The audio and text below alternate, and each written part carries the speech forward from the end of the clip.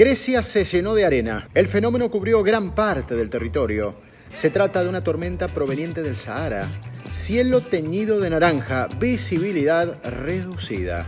Acampe piquetero se extiende hasta el mediodía. Se cumplen 48 horas del reclamo de ampliación de programas sociales.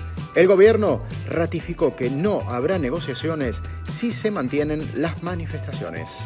Bloquean petrolero ruso. Un grupo de Greenpeace se interpuso en el camino de dos barcos en las costas de Dinamarca. Exigen que dejen de financiar la guerra con Ucrania.